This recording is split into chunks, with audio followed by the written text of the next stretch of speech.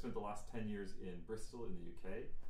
Um, and this is the first time I've had a piece presented in Toronto, I think, since 2019. So it's really exciting to be back uh, with the Thin Edge New Music Collective to present uh, Leviathan Coaster Club, which is what I'm going to talk about today. So what you see below uh, on the screen, there's like a little thing that says who I am, who uh, Thin Edge is, and also some like mutual keywords. And this is something that I do at the beginning of every project, which is kind of like who are the stakeholders and what do we have in common and what do we want to do in this project. So in this case, um, we were thinking about collaboration, innovation, new technologies, and I think what's not on there is also like new structures. So the fan club as a kind of chamber music compositional creation structure, which I'll talk about. But first, uh, who am I? So, oh, it says UK based here. This is clearly out of date. Um, mm-hmm. But I'm a composer, roller coaster designer, and researcher. So, before I became interested in music and composing, um, my first love was designing simulated roller coasters. So I did that for it was it wasn't actually that long of a time. I think it was about three years between when I was like ten and thirteen. Um, but I really liked it when I did it, and in a way, it, it brought me into the way that I learned to compose music. So I I was making these roller coasters using online forums to learn how to do it, um, sort of collaboratively making things and critiquing things of other people's and being critiqued, um, which is actually how I ended up getting into music composition was jumping forms over to video game music and then engaging in the same kind of collaborative creative processes. So I'll talk a little bit about that as we go because it's really related to fan culture, which is what this project is about. But here we are 20 years later and I'm exploring how this sort of early roller coaster love and music uh, can go together in my own practice. And then during the pandemic, I also became interested in AI art creation, which is a thread that sort of runs through a bunch of my projects, including this one. So the concept of Leviathan Coaster Club, and um, I kind of wanted to look at something that felt problematic to me, which was fan culture, or I felt complicated about and I wanted to see what happened when me, a composer in an ensemble, form a temporary fan club around something that some of us had been on this roller coaster, some of us hadn't. Most of us hadn't been on it at the time. And so during the pandemic, this was in 2021, um, the Thin Edge Music Collective and I uh, engaged in a week of online research where we formed this temporary fan club discussing Leviathan uh, from Canada's Wonderland. And so the project took place digitally, but now here we are, uh, a couple years later, finally getting the chance to actually make an in person performance out of this week of research um, and kind of ongoing research on my part.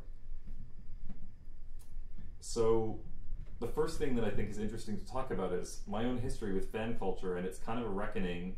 Now it's a reckoning, it wasn't a reckoning at the time.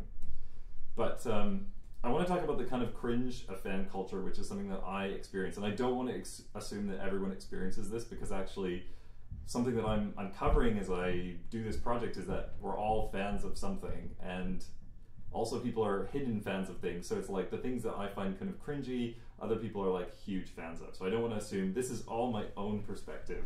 I don't want to say that this is like the truth or anything. So as a child and as a teenager. Um, I was a really big fan of a lot of things. I really liked anime and video games, and they're kind of responsible for how I started doing a lot of things. So I drew fan art. I remember drawing Sailor Moon and Pokemon was kind of the first things that I got into drawing, and that's really uh, what fueled the love of drawing for my entire life. I wrote and read fan fiction, and I even went to fan conventions around anime and video games and stuff like that. So as I was saying before, um, I began making roller coasters as part of online forums, which were really fan forums about roller coasters. And more than just making roller coasters, I was also memorizing a lot about roller coasters and taking part in kind of collaborative competitions and things like that. Um, and, and making friends. So I had a lot of online friends on these forums. Um, at the time, I had I hadn't really been on any. I'd been on like one. Hi, I'd been on like one uh, roller coaster in my life. Um, maybe one. I think at West Edmonton Mall, like a, a, small one or something. But there was a big moment where, like, uh, my parents actually took me to Wonderland, which is Canada's Wonderland at the time, Paramount Canada's Wonderland, and I went on my first kind of major roller coaster. And I remember thinking, like, after designing them for whatever it was, three, two or three years at the time. Like, what if I, what if I don't even like this? Like, I've just been doing all this, like designing over and over and over again, and um, you know, really deep into it. And what if I don't even like it? Actually, what if I find it too scary or it's just uncomfortable? But I really liked it, and that, yeah, that sort of paved the way for years of riding roller coasters. Um, and then when I began playing music and became interested in music composition, I was really interested in video game music. So I did a lot of arranging video game music, composing kind of like custom music for fictional video games or games that I thought I might make someday or somebody might make. Um, and that kind of continued all through high school. I, I kind of stopped that when I got to university, but it was a it was definitely a big part of how I got into composing. The first composing project I did was uh, like a video game orchestral arrangement uh, album, which for some reason, having never composed anything, I was like, yes, I can arrange an orchestra piece. This is fine. Uh, which I don't know, I kind of did, but it, it, never got performed or anything. But that, yeah, that's how I sort of used these online forums and was um, making fan music for video games. Um, but then at some point, I kind of got quote unquote serious about music, stopped designing roller coasters, and kind of only focusing on activities that I thought of as like moving me forward in my career. So things like orchestra pieces and band pieces and writing for real musicians and very quickly went into like making atonal music, so fully out of the rules of I mean even when I did video game arrangements, I didn't know anything about music theory, so I was just sort of like doing things that sounded good. But somewhere along the way, I developed a sort of cringe feeling towards fan culture and now I have to I have to reckon with like where is that and what is like what is what is it? Where does it come from? So why the cringe? Um, and these are again these are not truths. These are like looking at myself like what are the things that I I'm trying to analyze. What, what do I find weird about fan culture? So it seems kind of decadent. So like kind of a waste of time. It doesn't lead to monetization, which is complete. These are also untrue assumptions. But I was like trying to dig into like what I feel um, the cringy bits are. So actually, fan culture does often lead to monetization, like influencers, view counts. Sometimes people publish actual novels, but anyway, fan culture doesn't seem rooted in the real world to me. Uh, it often involves like niche cultural references that kind of separate people away from dominant groups and also bring people together. But it's this formation of subcultures. Uh, and also relies on minor affects, which is a term from a scholar named uh, Ngai, which I don't know how to pronounce, but spelled N G A I. Um, and these minor affects are things like cute, zany, and interesting, which really lend themselves to things sort of virally passing around. Now, when I put all these in one place, I thought, does this sound familiar? Yes, contemporary classical music. all of these things are found in contemporary classical music. So, a bit of a reckoning then. Um, not only am I a fan of contemporary music, so I do engage in this subculture of contemporary music, but I also really remain a fan of roller coasters. So the way that I'm thinking about roller coasters in my artistic practice is still rooted in fan culture in a lot of ways. Um, so in my previous work with roller coasters, I've tried to keep things kind of separate. Um, I don't engage with hobbyists. I don't show my work on forums and I often try to keep the roller coasters uh, abstract and kind of more technical or aesthetic. Um, I didn't. Maybe I maybe maybe I will do this in the presentation. I guess there's probably time. I haven't I haven't put in any of the previous roller coaster works, but maybe I can share some of those a little later. But here I was asking, um, what would happen if I embraced fan culture, and what are the positives? So how is it cool? And for this project, I wanted to research like what what can fan culture do so, fan culture, transformative, porous, and empowering. So these are just like a few points as to like what are the what are the interesting things about fan culture and how does it relate to the world of art making and contemporary music. So one thing I found really interesting is that fan culture transforms both the object of attention, so what the fans are a fan of, and the fan themselves. So um, it's possible that both the thing that these fans are a fan of can change through fan culture, but also like the fans can become, say, like they can become more open-minded. They can meet people, uh, have new experiences. It can change people through being a fan. Um, I'm also interested in this idea of kind of a porous barrier, and in this case, there's a few ways that happens. But one interesting thing for me is like the real and fictional can kind of coincide. So instead of just reading a book and like the book is there and the pictures maybe in your head, if you see pictures in your head, um, you get to like live in this sort of play space where things like clothes and costumes, food, or immersive fan experiences actually bring these two things together, which is kind of interesting when you stop and think about it. Like, it's it's a real like this barrier between fact and fiction and between the real and imagined becomes kind of more porous, which I find really interesting. But also something that um, in my own compositional work I think a lot about, which is authorship. Um, this porous, porous barrier also becomes uh, it becomes present when you think about authorship. So fans can change fan objects, and when they do that through kind of mass adoption, belief, creation, um, the the question of authorship, like who owns it, whether it's an author or a corporation or a group of people, um, it's drawn into question. And so through doing that, fan culture ends up modeling a kind of critical relationship with authority and canon, and it empowers people or can empower people to actively shape a discourse. And then something also interesting to me is that it can create new structures. So you get this idea of a fanon, which is like you have the canon, which is acceptable things by the author, but then you have like a fanon, which is the acceptable things by the fan group, and how these things uh, play together or don't play together. The idea of LARPing, so live action role playing, which uh, is often a part of fan culture, but it's this uh, whole possibility of structure of how this relationship between real and fictional occurs. Um, the idea of an open universe, so like the Star Wars open universe, where you have um, kind of like a corporate or a business uh, group that's had to accept that fan culture exists and try to find ways to monetize it. So in the case of Star Wars, like there's the official Star Wars universe, which are like you know I guess George Lucas and maybe plus a little bit now the movies and things like that, and then you have this open universe where other people write novels that are part of a sort of extended universe which exists in like a, uh, yeah like an alternate but still part of the universe kind of way. So all these things are really interesting when I think about music, which I'll get to. So a few kind of inspirations in art making. Um, one when I think about contemporary classical music is Nicole Lizée, um, and she makes works that remix. So it's I guess it's more of like a remixing, but they're really like you can tell that she's a real fan of these cinematic works that she's remixing.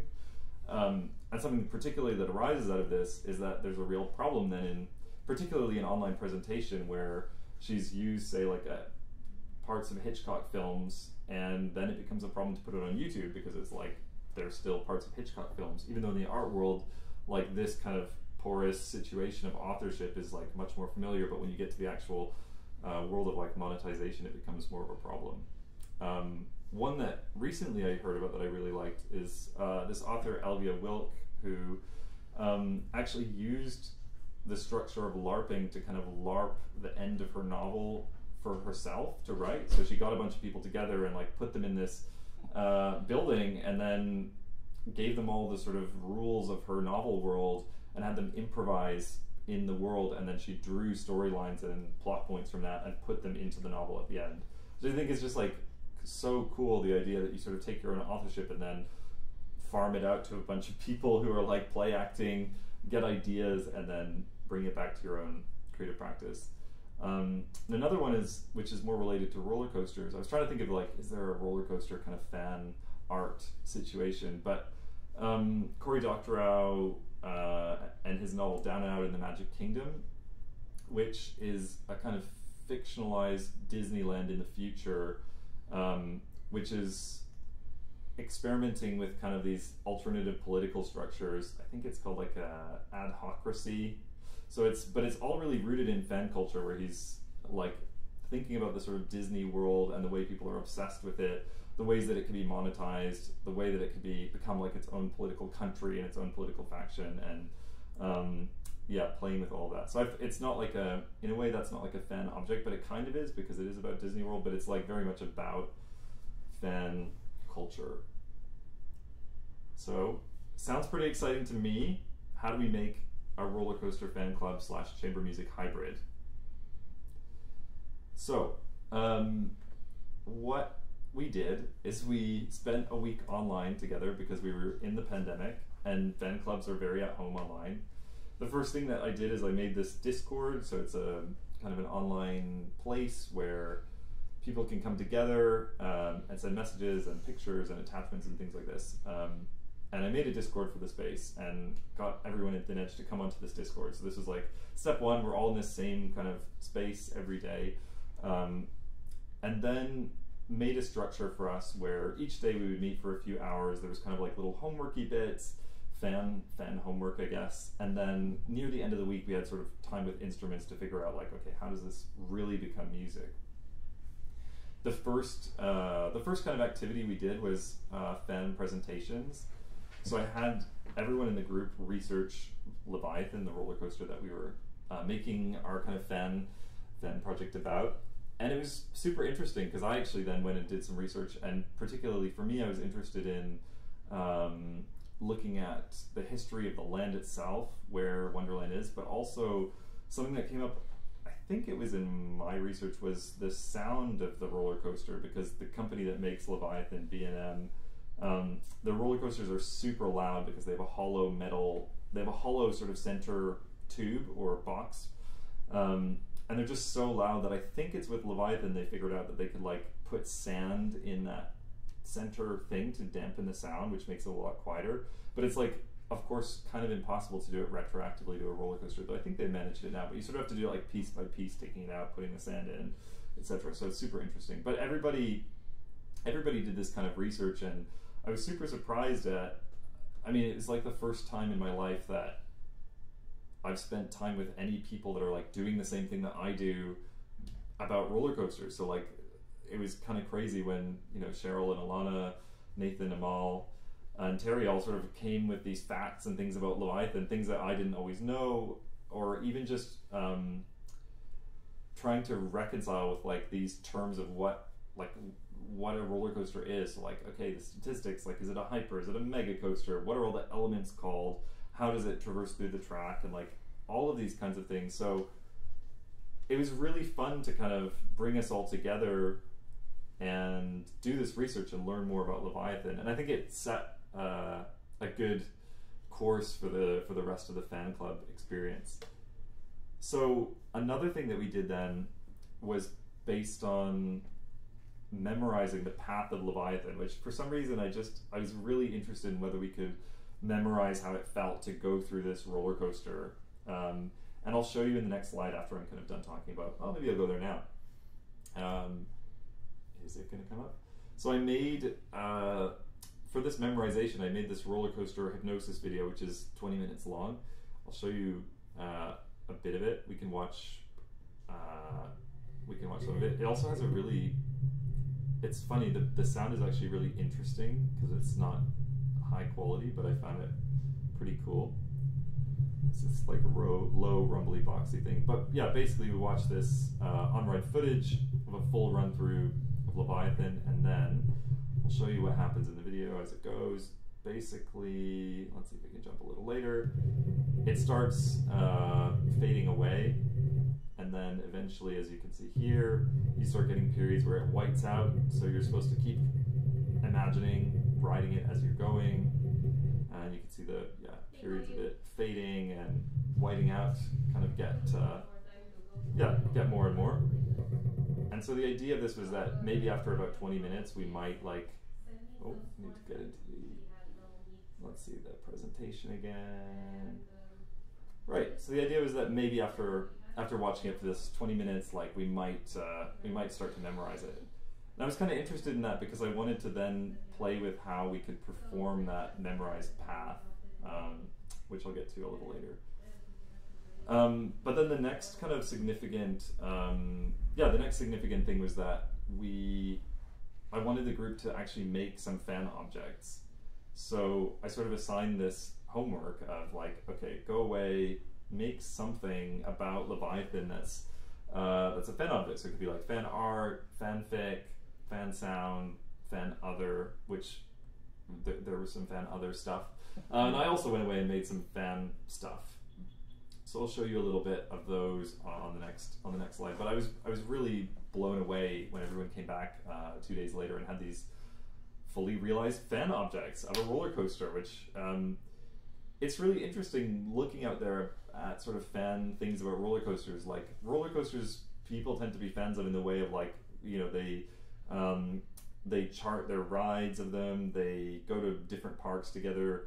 They like you know they keep logs. They share photos, this sort of stuff. But like fan objects around roller coasters are a little bit less common. Though now, um, I've noticed on my Instagram al- algorithm, I get a lot of fan recreations of like 3D printed roller coasters, which up until about two years ago it was super difficult to do. But it must be that 3D printing's just gotten so much better that now people can actually print all the little bits. And so I'm seeing a lot of um, fan printed recreations, which is new. But in terms of like fan art, there's a little bit out there, um, and fanfic, there's a few, and it's it's pretty. I mean, fan roller coasters feature in a lot of fanfics. I did a, like a sort of survey of things, and you know, lots of people place the characters of other fandoms into roller coasters and stuff. But actual like fandom about a roller coaster, l- a little bit less common. But there's there's examples. I have a few on my computer that I can link uh, people if they're interested in, but um, uh, they'll also be on the Discord, which I'll mention later. But yeah, there's a few like fanfics about the personified roller coasters, or sometimes unpersonified. They're just the roller coasters themselves. Um, so I didn't know what people were going to come up with, and they, yeah, we had a fan. Well, you'll see in the next slide, but we had we had a, a variety of fan objects, and then finally we got to the end of the week, and it was like, how how does this become music now that we've all really familiarized ourselves with this roller coaster. We've like memorized it. We've made fan objects. We've done research. We're all like in this fan space. And how are we going to do some music making? Um, and the first thing that happened is we sort of realized like Zoom at the time was not adequate to actually make music together online. So it wasn't going to be a situation of like everyone has their instruments they're going to play at the same time. So it was going to be more recorded. Um, recorded everyone goes away and records something which actually served me a lot better in the end because I ended up using all the recordings in the live uh, thing. But um, so the first, the first way that we made some music, which is something that I've experimented in with other projects um, about simulated roller coasters, is that we use this memorized path and we assign some kinds of mappings. So things like pitch and height, or speed and volume. Uh, I think in this case we use speed or g forces and timbre. So we did these kind of experiments where each person would go away and use their remembered version of the roller coaster and ride through it in their brain while they're playing their instrument, doing this mapping between pitch and, and volume and g force and things like that. And then what was particularly interesting is to take all these, and this is where doing it individually actually was maybe more interesting than doing it together, is that each person's wasn't super lined up. Like when I superimposed them all, they were kind of there. You could see the peaks and valleys of the roller coaster, but like not perfectly lined up. Which, as a composer, I think we're always often interested in things that are not perfectly lined up like that. So it was actually really cool. Um, and then I think the second musical thing I did, which didn't make it into the uh, the final piece, was that I gave them. Well, it, it did in a way actually, but I gave them this like mega difficult transcription of some uh, weird carousel music, and then they all played the notes of the transcription and just adjusted their speed as for the roller coaster, um, which was, I think, really difficult because it's like you're watching this stream of notes go by in your musical notation, and you're also trying to like speed and slow yourself um, in your in your head as you're like thinking about this roller coaster. But this is the kind of like spread of activities we did, which then like led to the to the piece. And now I think I have uh, that's the video, and then oh yeah, the fan objects. So um, Cheryl made a knitted version of the Leviathan track, which I just like that I would have never, hundred percent, never thought of doing. So that was like first number one, going whoa, okay. Um, Ilana made a soundscape that was based on some of the recordings I think from that uh, video, and then some improvisation as well. Um, Terry made a piece of fan art, which was great. You'll see it in a moment. That actually became a T-shirt for everybody. So we have a kind of a, unofficial, official fan T-shirt for the for the fan club. And Amahl wrote a fanfic about Leviathan, um, which this one was kind of the most challenging to integrate into the final piece because it's a it's a longish fanfic.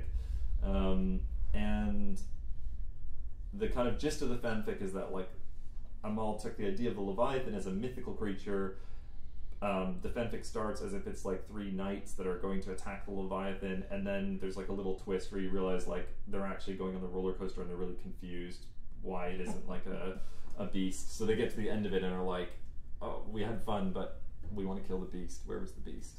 So it's like a, a, a cool little twist to it. It was a really nice little fanfic. And then Nathan uh, made this pure data patch that took essentially I had a g-force graph of the roller coaster, which it looks like a sinusoidal wave, and he turned it into a, a, a waveform for a synthesizer that then he played some notes on on the keyboard.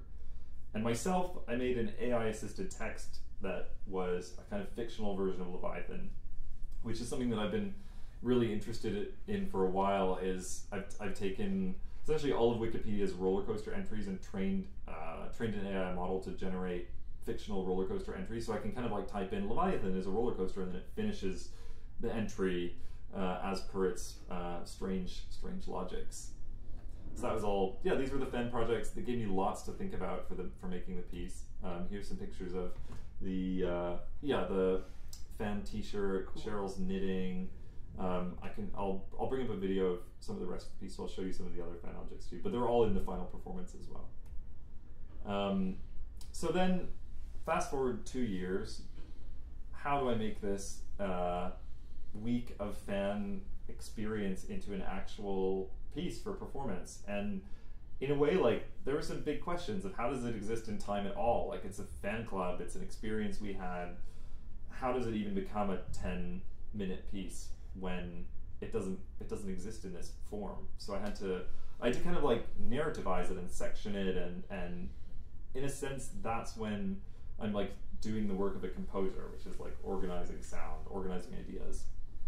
So in terms of what the piece is, um, and maybe as I do this part, I'm going to show some little bits of the actual piece itself.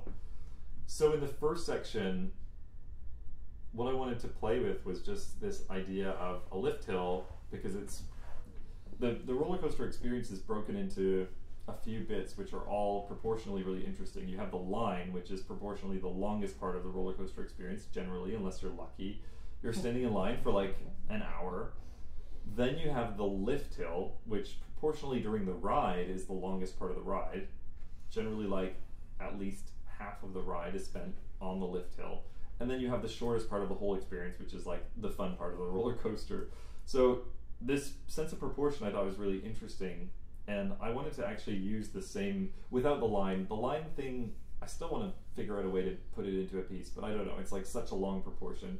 But in this case, I thought, okay, the proportion of the lift hill, like being sort of half-ish of the experience, could be really interesting. So I wanted to make this lift hill that goes on for a really long time. Um, and in that, I also wanted to use the recordings that we made uh, from the original uh, workshop and kind of have this phantom ensemble, pandemic ensemble playing with the ensemble. And so they're in the recording, they're playing. Uh, different notes. So I just kind of made a pitch thing as a composer. Sometimes you do, you just make a nice thing that sounds good. So I made some pitches that sound good to me, and uh, yeah. So we have this first section where we're just uh, you won't hear the real ensemble here, of course. Um,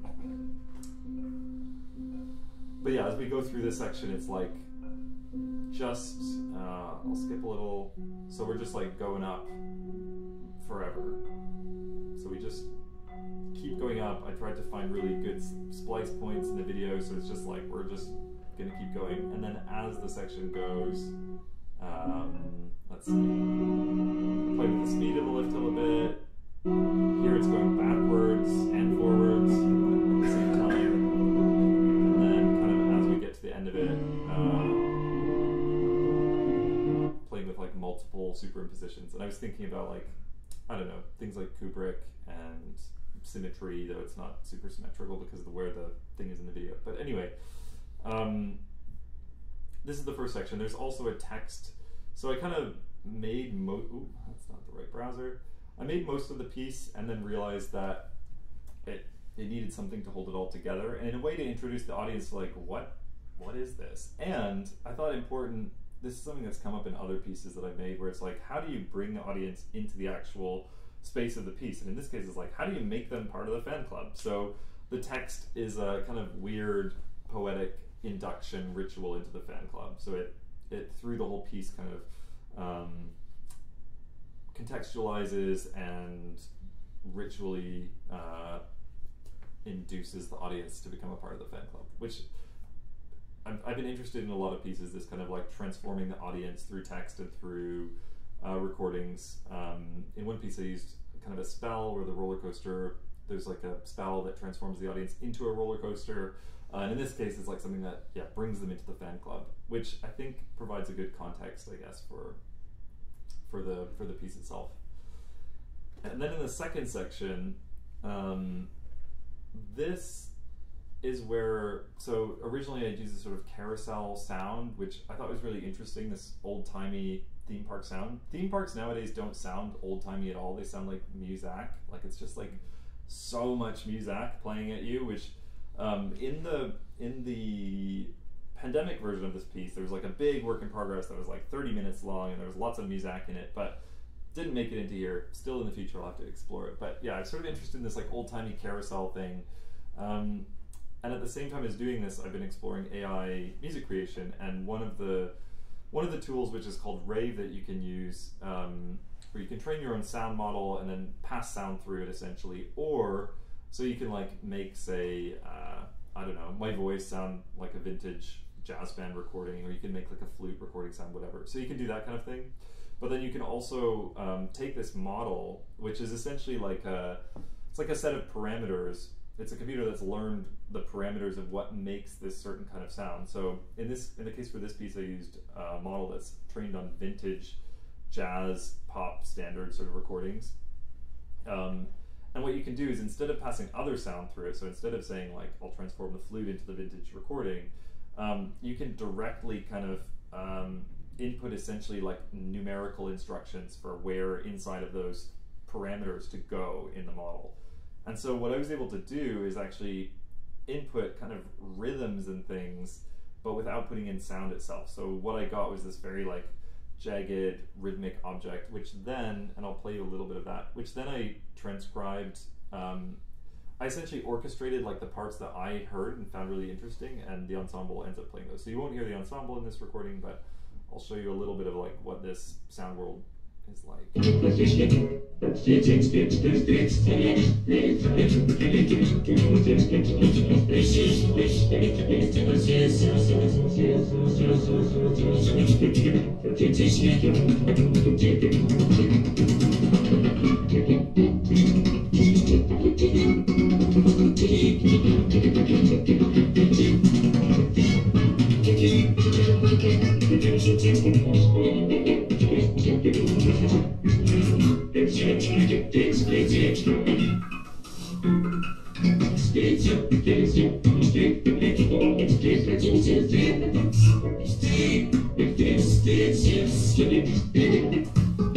So you can imagine, uh, even I think if you hear that, you can imagine how difficult this is going to be for the ensemble to play perfectly in time. Uh, and also, I wasn't really thinking about. There's this problem where I wasn't thinking about rhythm. It's not like a composed. uh, This is an AI that kind of made this sound recording, even though I was inputting um, like parameters for what the rhythm might be, et cetera, et cetera. Like it just spits out a, a sound, and then I kind of have to deal with it. So the first thing I did was um, essentially pick the parts that stood out to my ear, which actually now when I'm listening to it, it's like they're not. They're just what stuck out to my ear. I don't know, Ilana. Maybe do you hear like what you're playing in that? Um, part bits and pieces. I think just because there's so much other texture going on, like your ear Yeah. gets drawn to different things. Yeah, and I think- each time you listen to it. I think everybody would hear kind of different things. Yeah. But what I ended up doing is the parts where the video flashes red are like the events in the sound that I found really interesting. So I kind of first edited the video, put all these red flashes in of like, okay, this are these are the hit points, and then uh, the challenge was like, okay, how does how does the ensemble actually going to play this? So um, I've been using a, a coding language called R, which is a uh, a data data representation coding language. And uh, so using R, I essentially I've developed a code that I can put in um, edited video from, or I can put in video from a timeline in Premiere, and it kind of uh, it basically like just makes a graph of where each uh, clip starts. So I can. The nice thing about that is I can like make something in Premiere. Then instead of having to like write down all the times where each clip starts, and in this case, like the clips are all the red flashes, which would have taken me. There's like 200 flashes or whatever. It would have taken me a long time to write down each time. So anyway, R just like spits it all out, and then what I can also do in R is I can set it up to look a bit like a musical score. So I can put, you know, bar lines or uh, divisors on each uh, 60 on each uh, second, for example. And then within each second, what I ended up doing for this is I divided each second into seven, six, five, four, three. So I had dotted lines of different colors for all these divisions, and then I would like look at each clip starting point and look which one it was closest to, and then that's where it appears in the music. So they, so then the ensemble gets this precise rhythm of how they're going to play these flashes of color on the screen, um, which are other composers certainly could have done this differently. I know there's loads of ways to do this. For me, it's like so there'd be ways of like changing the time signature with like doing all this stuff. For me, it was like easiest to imagine if it was all just like tempo equals sixty. I'm not thinking about where the downbeats etc. are. It's just like and I, in a way, like it comes out in the music in that the, where the downbeats are in each of the measures affects how the players perform it. But I'm not like I don't I don't mind that or anything. But I think in the end, it's working pretty well. The ensemble's playing really well. so uh, but it's hard. It's like the rhythms are really complicated, syncopated, like you know sevens and fives and switching between all these things. So um, I knew they could do it, but it's a challenge, and they're doing it great. So um, then uh, the third section of the piece is where I wanted to make space for these fan presentations that the ensemble members had given. So I wanted to like actually hold space for like what we had done. So you can see in the in the recording uh, I'll just skip through. So you just you get like little credits as to who did what. You see Terry's T-shirt. You see Cheryl's Blue lift hill. The rock. Um, you see Nathan's pad. Trains can go through two retractable hills, either uphill. See his little synth thing, and then you get a bit of Galen thinks Red Crosby with and gleaming green amusement. then you get a bit of Amahl's uh, fan fanfic. So that was it was really nice to like bring these things together. It'd be interesting, like I was thinking about yesterday, like okay, what is it? What happens if another ensemble plays this piece? Like, what do we do? Do we have to make a new fan club? Maybe maybe we do have to make a new fan club. Maybe it becomes a part of doing this piece where like then this section of the piece always becomes the sort of fan object part of the ensemble, and like in a sense, the kind of roller coaster research fan objects becomes like a uh, collaborative research rehearsal situation. Hopefully, I get to try it out someday another ensemble wants to do it. Um, the fourth section of the piece then is a. I just said it yesterday. Now I can't get it out of my head. This Pavan for Leviathan. So it's like a very dirgy uh, song uh, that I actually sang to my microwave, which uh, don't ask, I don't know. There was a there was a microwave that sounded really good, and I was singing along, and I was like, I should really record this just in case, and I didn't know why. And then uh, two weeks later, I was making the piece and thought, the microwave recording. This is and this is how composition works. Uh, so you'll see, and then I paired it with this like very, uh, again using AI, I'm able to do all, all sorts of things now, like upscale the video and slow it down, so you get this sort of very.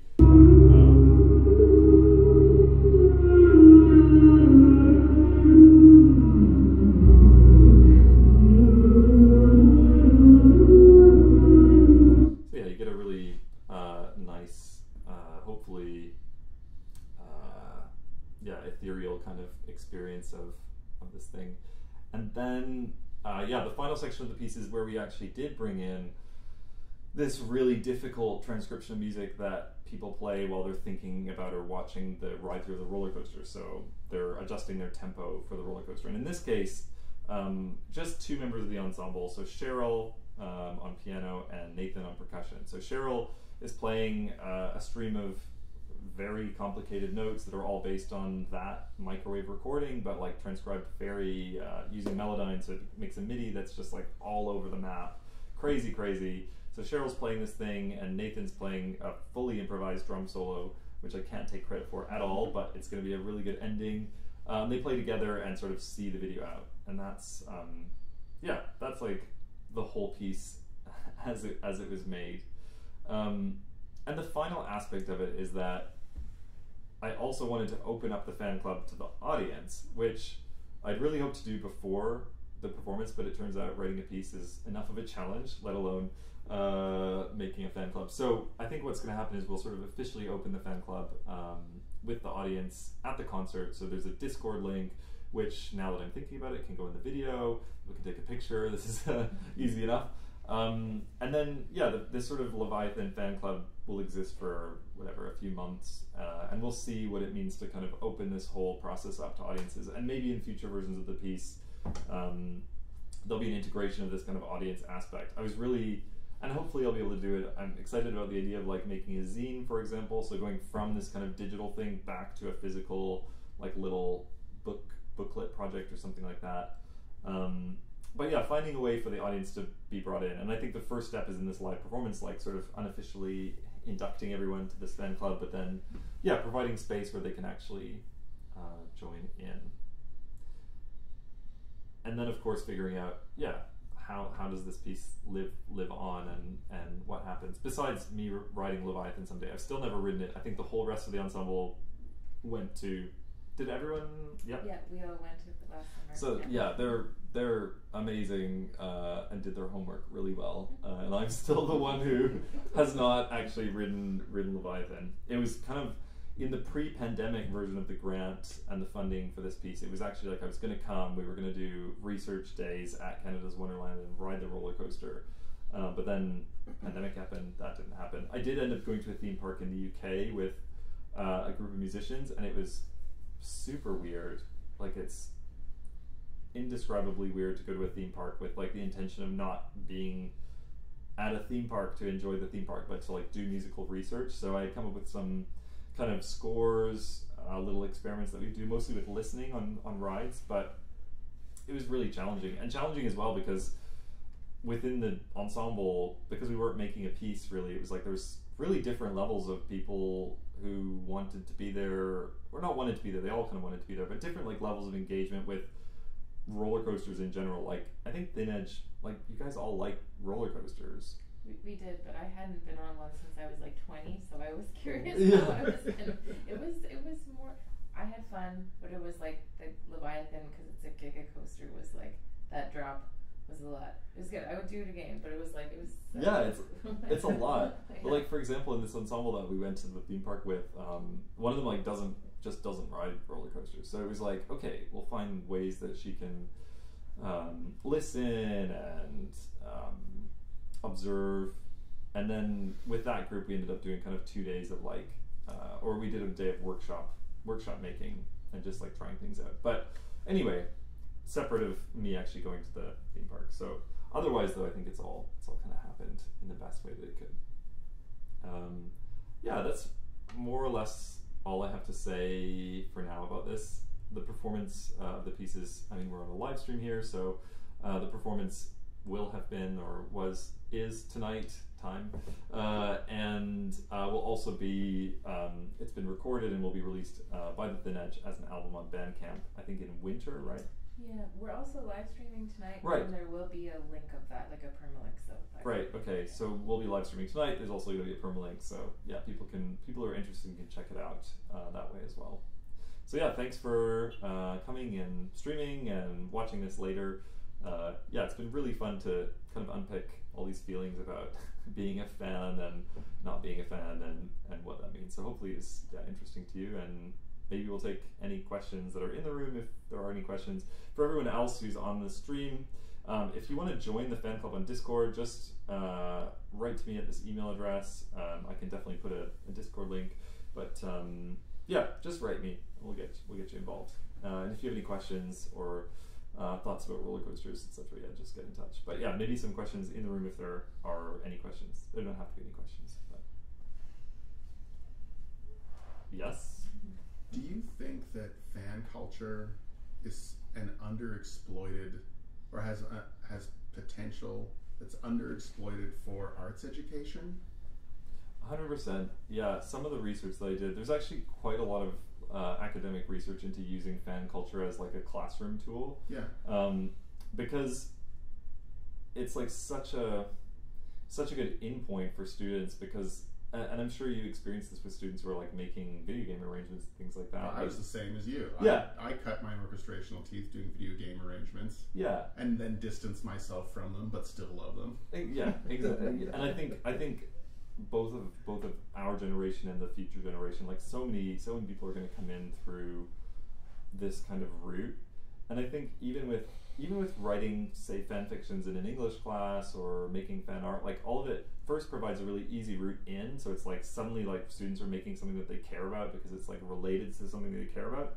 But one one book I was reading, which is where I got some of the kind of ideas about um, challenging relationships relationships to authority, like inherent to this kind of making is that you have to understand and question a relationship with authority because like doing a fan thing is strictly speaking in the way that authority works in the world is sort of runs contra to that. Like an author makes something uh, depending on how you think of uh, Roland Barthes the the death of an author but like an author makes something and it's like that that is understood to be their kind of thing. And so when you make a fan object you're going against this like entrenched structure. So i think using that for students can be really interesting as well because they then have to like assess where the power structures are what it means to run against them also like where your own biases and interests lie so yeah anyway i think it's super interesting and, and in arts education as well. I think like certainly in band choir etc like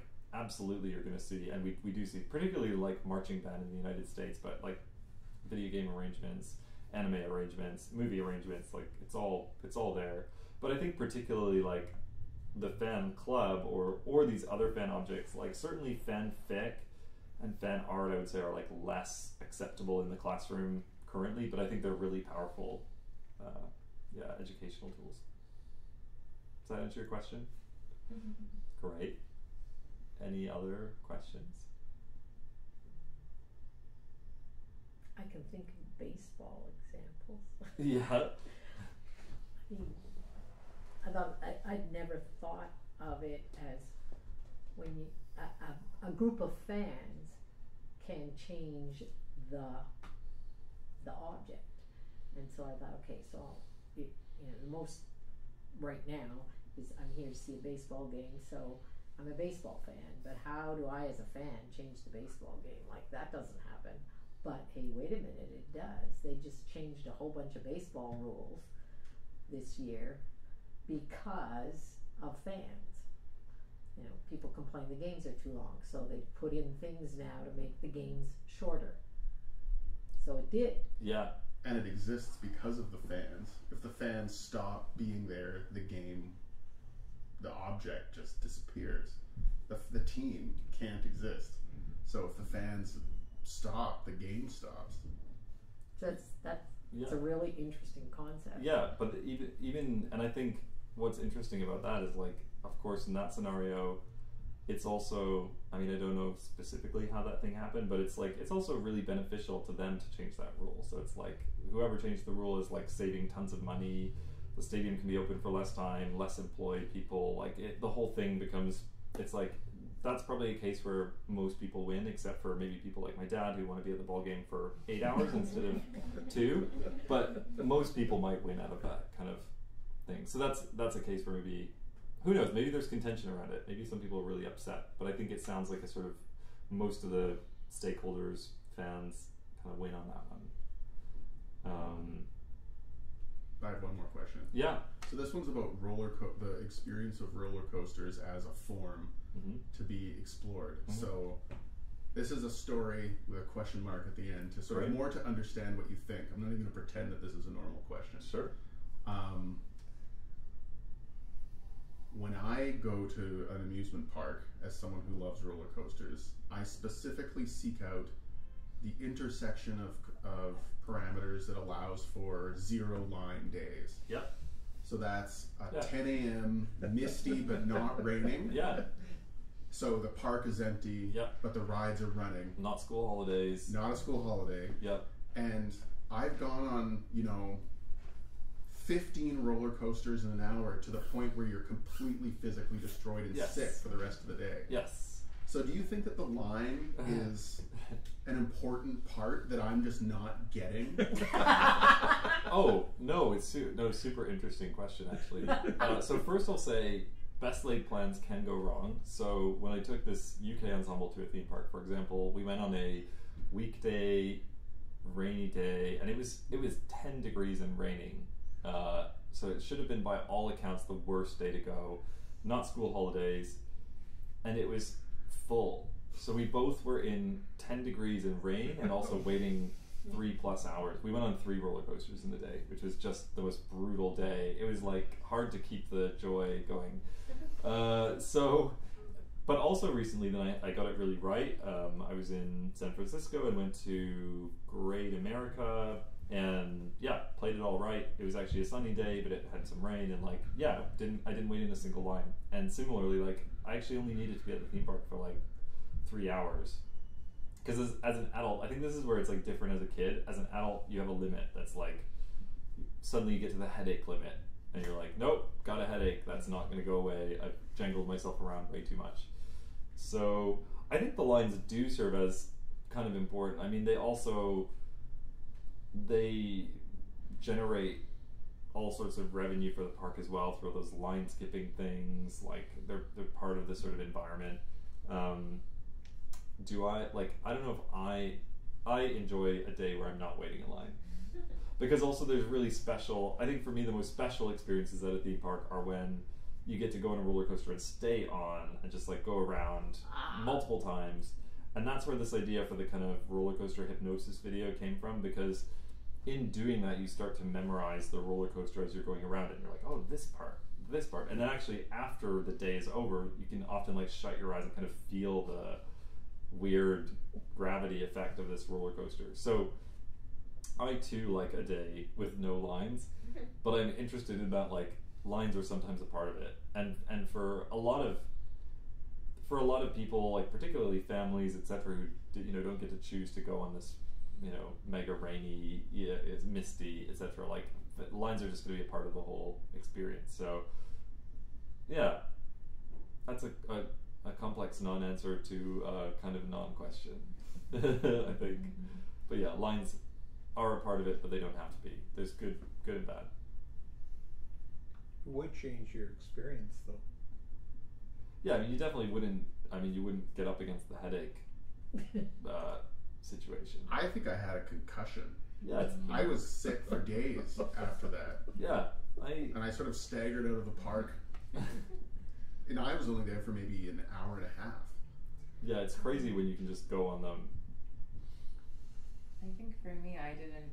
Well, it was it was not three hour lines. It was like hour and a half lines. But like there was this nice social aspect of us like Mm. anticipating. I Mm. maybe like a little less time between would be Yeah. like a little time to be like, okay, we're waiting. We're seeing. Yeah. We can see we're getting closer. We're getting, but but uh, the three hours is I think. Yeah, so maybe like a a, lot. a twenty minute line. Yeah, that could be 20 minutes to nice half an hour. to the, the punchline of the bride. Yeah, if we could curate the ideal, and then towards the end of the day, it empties out, so you can have those Yeah. stay. I mean, that's for example, La Ronde. I think that often happened where it's like the end of the day kind of rolled around, everyone had left, and then I was left on the wooden roller coaster Le Monstre by my, you know, with a friend, we would just go around and like get a headache. I, there is a sort of a weird state that can happen that's only happened a few times. Once on Ednor, where you're you've gone on it five times in the loop, and then you and all the fear starts to oh, disappear, fully. and you're just totally relaxed, and there's no anxiety. Same thing with uh, Goliath, uh, Goliath. In, Yeah. uh, in La La Ronde, but Leviathan here. Mhm. Imagine going on that one six times in a row until all of the fear is totally gone and you're just kind of paying attention to the nuances of the free fall. that was the part that I think was the, the yeah I can't that would be quite something transcendental. I would say it, and that's maybe kind of ride dependent because the the last one that I went on five or six times in a row was this one at Great America, and it's like a really good, it's a really well designed roller coaster, and it's just like the forces on it are so great that you, it's like you're every time they're still like ah, like it's still. Uh, smooth, or it's not it's, smooth. No, it's really smooth, but it's like the forces are very extreme. Ah. So it's like you're really pulled out of your seat in like an extreme way and pushed like so it kind of even though being on it multiple times, like you lose the fear, but you're st- you're still very much like affected by the. But I I've I've definitely had that experience, and it was one thing we talked a lot about at this like theme park research trip with musicians, where it's like the first time, the first roller coaster of the day, you almost like couldn't. In fact, you couldn't think. It would like actively inhibited any thinking once you're over the hill. Whereas even going on the three or four that we went on, like by the end of the day, you don't really have the same kind of like fear factor. So you're a little more used to everything. But yeah, I'm still I'm still working on ways of thinking about incorporating all of these things into like musical forms and musical ideas. I have one one suggestion, maybe a thing to try. Sure. And that's enough out of me. The um, the closest thing to roller coasters that I've ever experienced that is downhill skiing. Oh yeah, So the idea that there are hills yeah, and super fans of hills, yeah, and then that same kind of experience of the flow and the sort of exhaustion and on all these kind of different aspects of the sort of hmm. the way and that is combines with the way that the mountain can change hmm is something that sort of reminds me of the Hmm. of the experiences that you're describing. Yeah, for sure. I mean, I- I think the nice thing about ski hills is even even with the artificial side of like snowmaking, etc. But there's still like a very real, natural aspect of like how the weather shapes the hill. It has moods. yeah, it has moods. Yeah, whereas roller coasters, you get a little bit like when it's rainy, it goes a little faster. Like there's little things, but yeah, not the same. But yeah, that could be interesting. I like downhill skiing too, so if I ended up in a downhill skiing uh, music research mode, it wouldn't be the worst thing. Well, thanks everyone for coming and for joining.